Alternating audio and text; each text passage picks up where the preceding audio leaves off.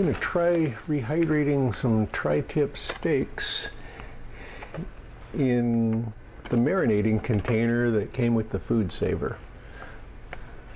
So, going to see how that does.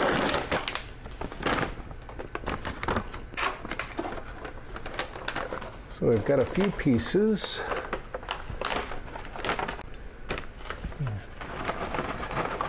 Pour out the little steaks. All right. So I've got some little steaks. So I'm going to take two that are similar size and put one in this container. One in another container. Let's see if I can fit a couple of them in there. So my plan is to fill that with some beef broth to rehydrate it. To have enough that it's tall enough to cover it. Do the same thing with the other one.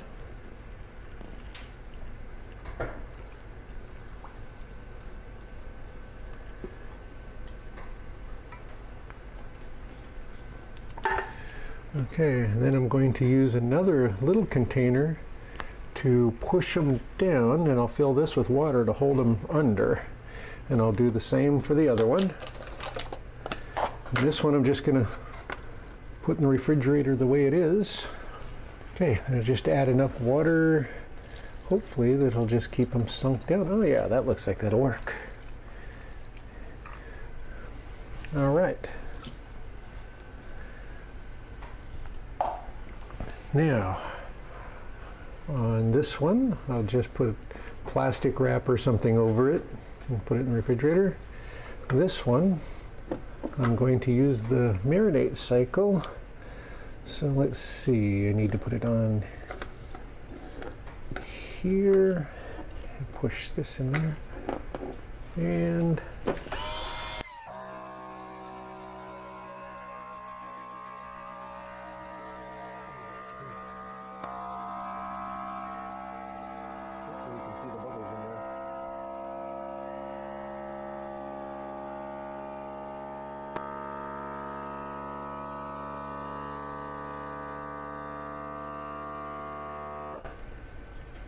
Okay, hopefully I could see that. It's pulling the air out of the steak and then I'll leave that set for a while, then very slowly reintroduce the air and that should push the liquid into the spaces that the air was taking up inside the meat.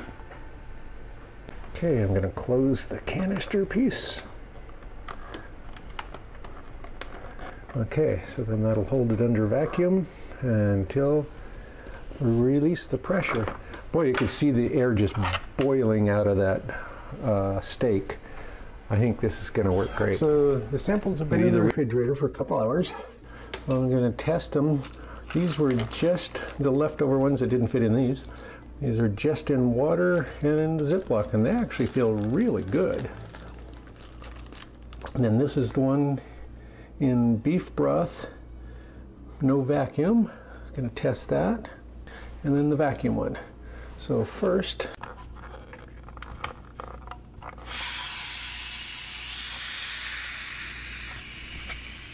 I actually want to release the pressure fairly slow so it's time for the meat to soak up the liquid.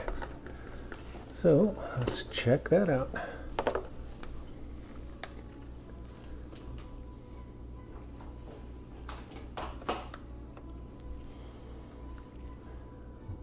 Oh, wow.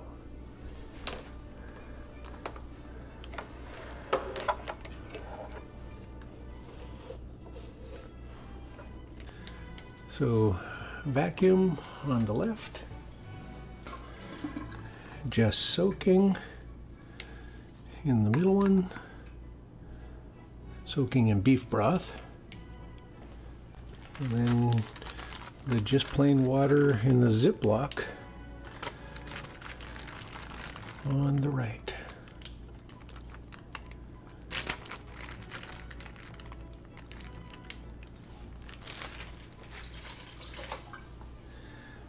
All right. Wow. These just are so soft. This is very firm. And this is like a really nice firmness, like a steak, but pretty tender. So that'll be interesting. Salt and pepper, please. So I should probably do both sides. Okay, I'll do the pepper. And I'll flip them over.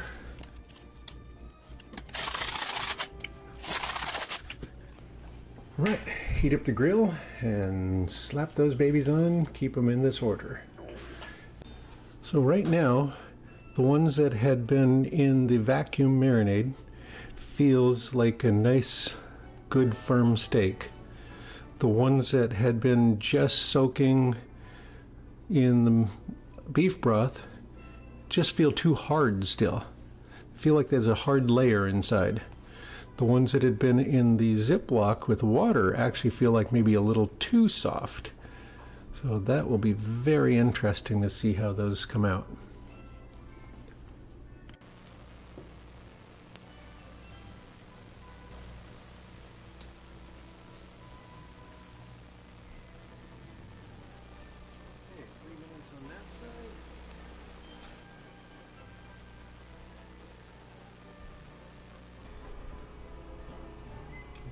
Off and test them.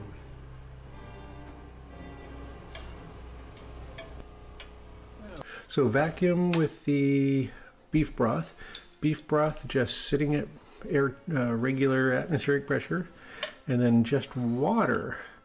Interestingly enough, the water ones do not look as done. Yeah. They look kind of boring. But now we have to taste test them. Dang it. Beef, it's what's for taste test. Okay, not just test, but we're looking at texture. I don't know if that knife's any good for that. Wow, that's terrible. And yet this doesn't seem that, that's good. Um, Yeah, serrated one. yeah, well, I never did sharpen this, one.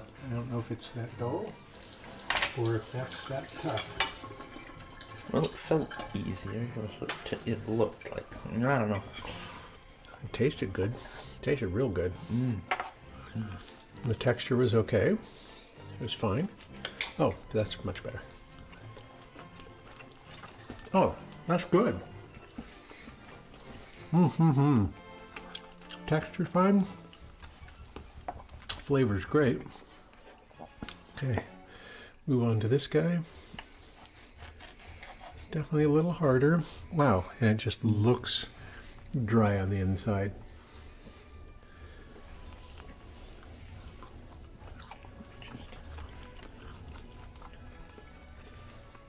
Flavor's good. Texture's not bad, but it is drier. Yeah, it does look dry.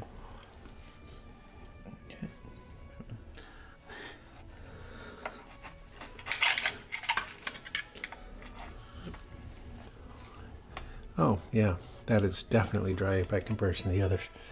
I mean, oh, yeah. Look at the difference in those. Wow, that's a big difference. Hmm. Flavor's still good, right? But it's definitely drier. Yep.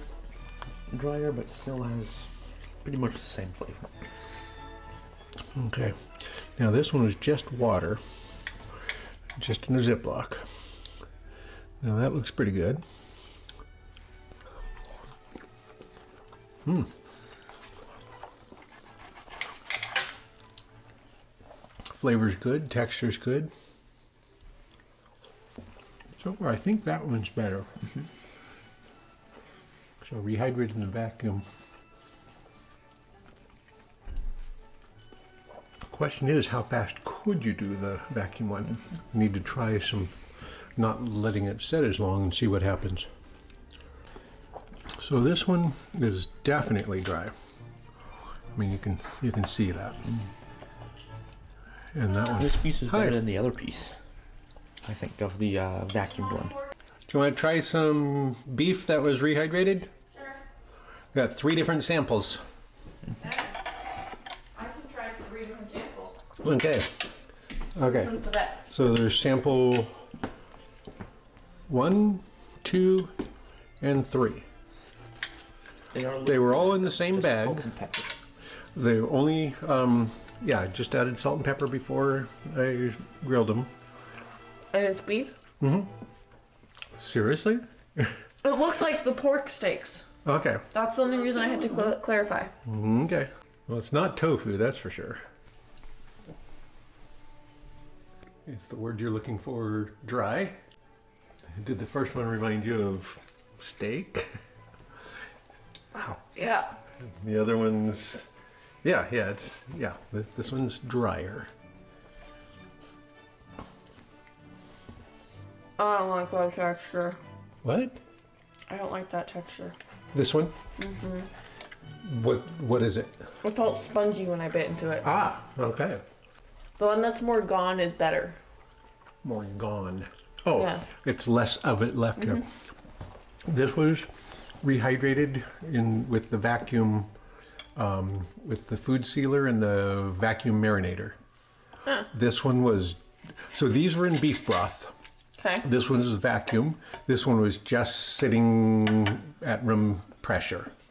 This one was water in a Ziploc. Wow. And it got soggy. That one's better. Mm-hmm. This one's still a good flavor. It's just very right, dry. it's very dry.